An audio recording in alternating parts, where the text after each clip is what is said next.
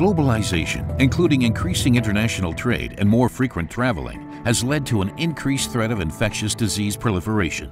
Over the last few years, avian and especially swine flu revealed the existing threat of acute pandemics. But there also remains a general high risk of the spread of infectious diseases, such as tuberculosis, AIDS, or hepatitis. Thus, it's becoming increasingly important to identify infected people more quickly, to treat them, and to be able to isolate individuals immediately in case of a pandemic. Molecular diagnostics using so-called PCR technology play a decisive role here. Today, we're able to react more quickly to new diseases due to modern methods that allow us to accelerate the profiling of new viral strains and improve the accuracy of corresponding test results.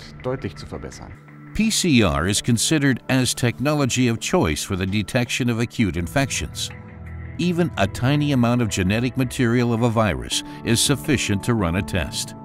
Because with PCR, hereditary information of the target is copied a millionfold in just a few hours and is made visible via illuminated color markers. Therefore, the existence of the target pathogen can be explicitly detected and exactly quantified in the given sample.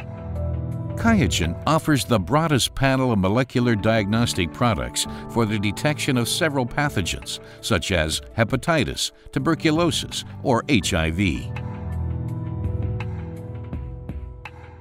As a university hospital, a highly infectious patient may come to our clinic at any time, so it's vital to react quickly. Small testing units are best suited for the job. The increasing global population and continuously changing pathogen strains represent a challenge to the global healthcare system.